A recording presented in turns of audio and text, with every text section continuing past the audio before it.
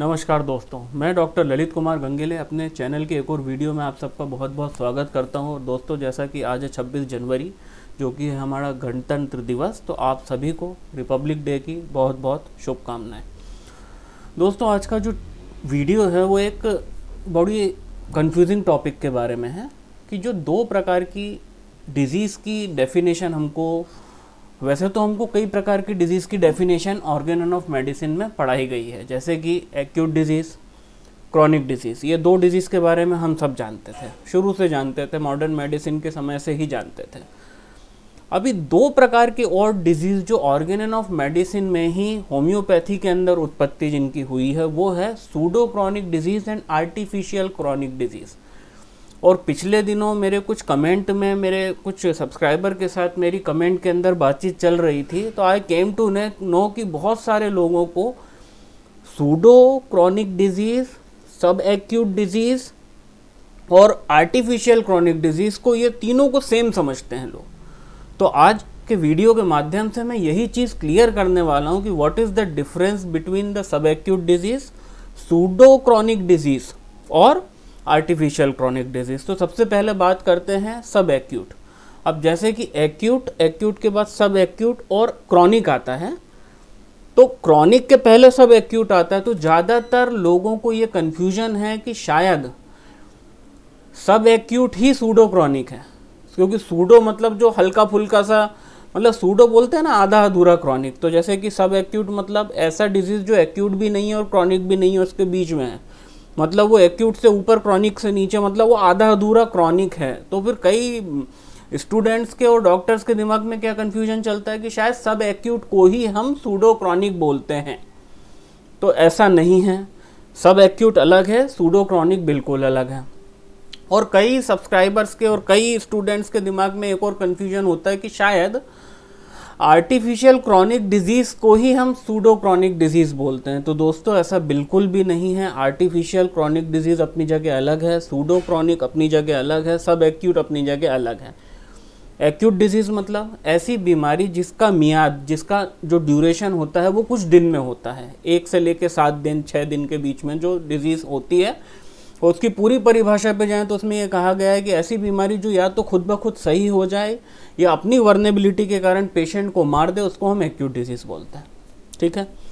Chronic पे आते हैं, अपन सीधे क्रॉनिक पे आएँगे। क्रॉनिक डिज़ीज़ मतलब वो डिज़ीज़ जो ना सही हो अपने आप, ना वो पेशेंट की एक्यूटली या यकायक जान ले लो, उसको हम क्रॉनिक डिज़ीज़ बोलते हैं। और जैसा कि हम सब जानते हैं क्रॉनिक डिज़ीज़ का जो ड्यूरेशन होता है वो बहुत लंबा होता है। वो मतलब ईयर्स तक, जैसे कि जोड़ों का दर्द हो गया या फिर कोई और प्रॉब्लम हो गई अस्थमा हो गया, है ना gastric disturbances that can last for the years उससे पेशेंट बीमार ज़रूर रहता है, पर क्रॉनिक डिज़ीज़ से डेथ के चांसेस बहुत कम रहते हैं। ठीक है ना? तो ये हो गई क्रॉनिक तो एक्यूट समझा क्रॉनिक समझा। अब सब एक्यूट क्या उसके बीच में? कि जब भी कोई बीमारी लंबा परसिस्ट करे मतलब वो थी तो एक्यूट पर वो किसी कारण से सही नहीं हो पा रही है और उसका जो मियाद है, वो उसकी नेचुरल डेफिनेशन से बाहर चला गया। मेरी बात समझिए। जैसे कई लोगों का सप्रेशन ऑफ़ फीवर हो जाता है तो उनको ऑन एंड ऑफ़ फीवर आता रहता है। वैसे तो फीवर देखा जाए तो वो तो एक्यूट डिज़ीज़ है एक्यूट है।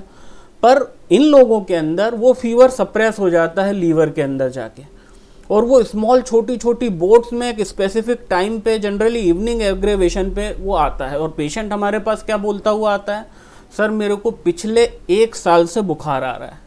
तो पहले तो आप सोचते हो कि यार ये बात क्या कर रहा है? हाउ इट इज़ पॉसिबल कि एक साल बुखार क्यों आ सकता है? बिल्कुल आ सकता है, अगर वो सप्रेस है तो वो एक रेगुलर इंटरवल पे छोटी छोटी बोट्स में बाहर आएगा। तो this is what is known as the subacute disease कि ऐसी बीमारी जो थी तो एक्यूट पर due to some circumstances that had turned और that has the elongated duration उसका जो स्पान था वो बहुत लंबा हो गया। तो और वो स्पान जो है, वो इसकी एक्यूट की परिभाषा से बाहर निकल आया है। That is what is known as the subacute disease तो यहाँ पे मैंने क्लियर करा एक्यूट सब एक्यूट और क्रॉनिक अब हम आएँगे सूडो क्रॉनिक पे। सूडो क्रॉनिक को समझने के लिए उसके लिए हम एक स्क्रीन दूसरी स्क्रीन पे चलेंगे, क्योंकि ये जो परिभाषा है, हम यहाँ से मैं ज़्यादा अच्छे से आपको समझा पाऊँगा। तो दोस्तों, जैसा कि आप देख पा रहे हैं यहाँ पे कि सूडो क्रॉनिक डिज़ीज़ की डेफिनेशन यहाँ पे गूगल पे हमने सर्च करने की कोशिश की, है ना? तो मेरे हिसाब से क्या था सूडो क्रॉनिक डिज़ीज़ की भाई ऐसी बीमारियाँ जो हमारी लाइफ स्टाइल के अंदर डिस्टर्बेंस के कारण होती है those diseases are known as the pseudo chronic disease मेरी बात समझिए? जैसे कि मान लीजिए कोई सज्जन है, वो सेडेंट्री हैबिट्स में रहते हैं, वो कोई बैंक में मैनेजर हैं वो घंटों अपनी सीट पे बैठे रहते हैं, वो ओवर टाइम भी करते हैं, वो सवेरे आठ से लेकर रात को नौ बजे तक काम कर रहे हैं। अब वो फ़िज़िकल एक्टिविटी नहीं कर पा रहे और उस फ़िज़िकल एक्टिविटी ना होने के कारण अगर उनको कोई भी बीमारी होगी, जो कि most of the time obesity होगी प्लस कोई मेटाबॉलिक डिसऑर्डर हो सकता है या फिर कोई इनडाइजेशन या फिर कोई डाइजेस्टिव सिस्टम का प्रॉब्लम हो सकता है। तो आप जैसा कि यहाँ पे देख पा रहे हैं कि उनको कोई भी बीमारी नेचुरल डिज़ीज़ नहीं लगी आके। मतलब ऐसा नहीं हो कि वो नेचुरल कोई चुड़ैल चिपट गई हो आके, जैसे जनरली नेचुरल डिज़ीज़ लोगों को पकड़ती है आके natural disease in the form of disease maladies लोगों के वाइटल फोर्स पे होम्योपैथी में डिज़ीज़ का क्या मतलब परिभाषा है? कि whenever the vital force of any healthy human being is affected by any noxious और एनी डिज़ीज़ प्रोड्यूसिंग फोर्स से जब अटैक होता है और तब वो बीमार पड़ता है तो उसको हम बोलते हैं क्रॉनिक डिज़ीज़ या उसको हम बोलते हैं नेचुरल डिज़ीज़ पर ये जो बैंक मैनेजर साहब है, इनको जो डिज़ीज़ है that is not natural disease क्योंकि वो डिज़ीज़ नहीं होती अगर वो नॉर्मल लाइफ स्टाइल जी रहे होते.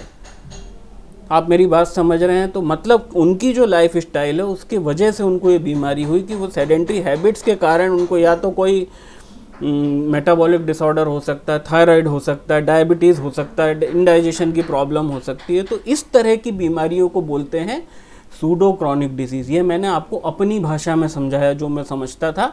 अब मैं आपको ये गूगल से बताता हूँ कि pseudo chronic diseases are the apparent disease expression that could improve through the good diet regime and hygiene and are not due to the fundamental chronic miasm ऐसी बीमारियाँ जो हमारी लाइफ स्टाइल के कारण हैं और वो उनको इम्प्रूव कर सकते हैं। कैसे इम्प्रूव कर सकते हैं?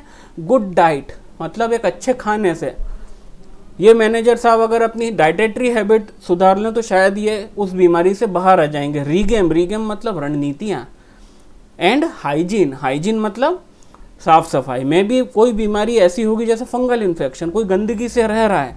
तो भाई गंदगी से रहने के कारण उसको फंगल इन्फेक्शन हुआ।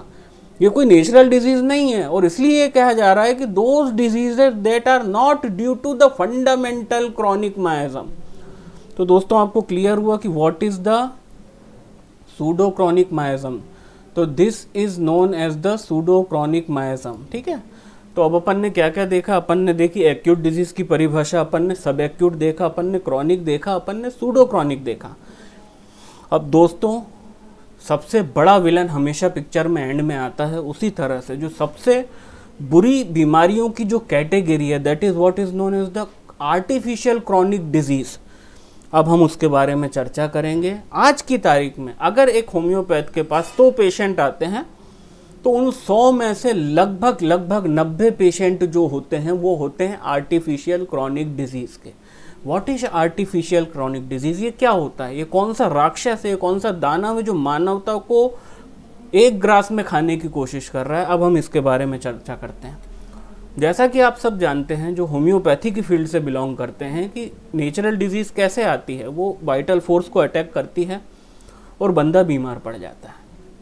अब ये जो बीमार बंदा है, जो सिर्फ़ एक सिंपल इनोसेंट नेचुरल डिज़ीज़ से अफेक्टेड था, ये होम्योपैथ के पास तो आता नहीं है। स्टेटिस्टिक्स बताते हैं कि टोटल ऑल ओवर अर्थ में सिर्फ़ एक या दो परसेंट लोग भी होम्योपैथी का सेवन नहीं कर रहे हैं। फिर भी उनकी संख्या करोड़ों में है, पर वो दो परसेंट भी नहीं है टोटल पॉपुलेशन का। मतलब 98 99 परसेंट लोग चांस देते हैं एलोपैथिक प्रैक्टिशनर्स को। Allopathic practitioner crude molecule, crude medicine का उपयोग करते हैं, क्रूड केमिकल कंपोनेंट्स का यूज़ करते हैं उस बीमारी को दबाने में। और वो जो क्रूड मेडिकेशन होता है that is what is known as the abuse of the medication वो जो अब्यूज़ कराया जा रहा है ऑल ओवर द पॉपुलेशन में, वो अंदर जाके एक आर्टिफिशियल डिज़ीज़ पैदा करता है। But that artificial is not like our जो हम जो पैदा करते हैं अपनी होम्योपैथिक मेडिसिन से वो वैसी आर्टिफिशियल डिज़ीज़ नहीं होती है। हम क्या करते हैं कि हम सिमिलर मेडिसिन को दे के सिमिलिमम को दे के उस पेशेंट के अंदर, उसके अंदर जो नेचुरल डिज़ीज़ है, उससे थोड़ी पावरफुल हम आर्टिफिशियल डिज़ीज़ पैदा करते हैं और नेचर्स लॉ ऑफ़ क्योर के हिसाब से जब भी कोई पावरफुल बीमारी आती है बॉडी के अंदर तो वीकर जो रहती है, वो आउट हो जाती है। तो यहाँ पे पावरफुल बीमारी हम लोगों के द्वारा पैदा की गई है, जो कि एक होम्योपैथिक मेडिकेशन के द्वारा है। और वो हमारे कंट्रोल में है। तो हम इस तरह से क्योर करते हैं। जब भी शरीर के अंदर कोई भी रिएक्टेबल कंपोनेंट जाएगा तो शरीर उसके रिस्पॉन्स में कुछ ना कुछ पैदा करता है। अब यहाँ पे हो क्या रहा है कि पेशेंट ऑलरेडी एक नेचुरल डिज़ीज़ से ग्रस्त था और एलोपैथिक दवा लेने की वजह से उसके अंदर एक नेचुरल के साथ साथ एक आर्टिफिशियल भी जनरेट हुई और सालों तक ये दोनों बीमारियाँ साथ रहते रहते हैं, इनके जो सिम्टम्स रहते हैं वो इंटरमिंगल मतलब वो आपस में मिक्स हो जाती हैं और दोनों एक दूसरे का पार्ट बन जाती हैं। मतलब ये नेचुरल डिज़ीज़ और जो आर्टिफिशियल डिज़ीज़ जो उनके क्रूड मेडिकेशन से पैदा हुई थी, ये दोनों एक दूसरे का पार्ट एंड पार्सल बन जाती हैं और अल्टीमेटली यही जो दानव है, इसको हम बोलते हैं आर्टिफिशियल क्रॉनिक डिज़ीज़ और ये बहुत इंपॉर्टेंट कारण है कि आज के डेट में होम्योपैथी से लोगों को सही करना दिन पे दिन कठिन होता जा रहा है। Because they are not the victim of the natural disease ये कोई नेचुरल डिज़ीज़ के पेशेंट नहीं है। वो नेचुरल डिज़ीज़ के पेशेंट तब हुआ करते थे जब इनको कोई बीमारी हुई थी।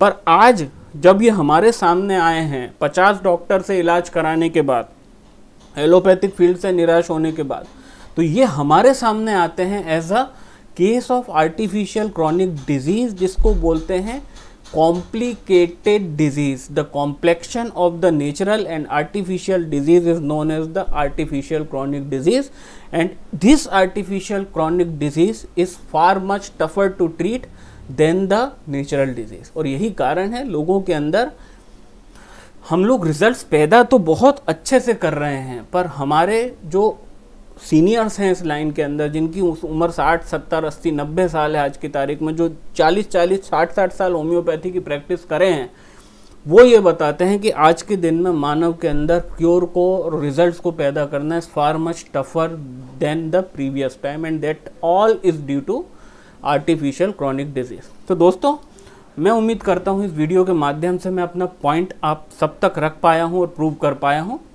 उम्मीद है अगले वीडियो के अंदर बहुत जल्द मुलाकात होगी तब तक के लिए नमस्कार।